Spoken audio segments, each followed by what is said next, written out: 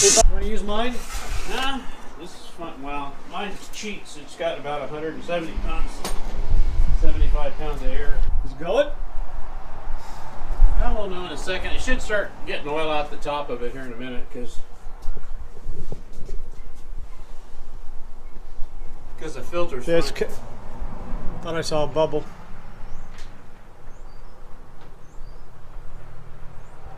You'll see it come out between the rocker arms. I oil all, all over the top of it, so. Yeah. But you'll see it come out between the rockers.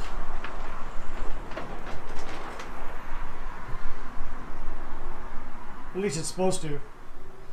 Oh, it will. Is it going to squirt me? Well, the, the plan is no. So should I st- step back a little bit? That may change dramatically.